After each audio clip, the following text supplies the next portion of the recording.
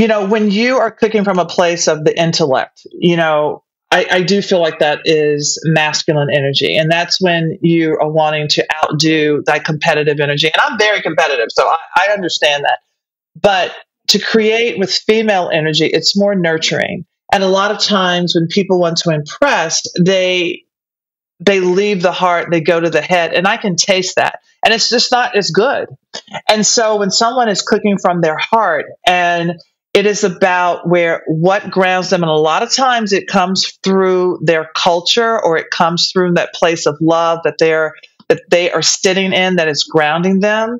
I'm like i love this. It doesn't have to be fancy but i can feel that this food is right for my soul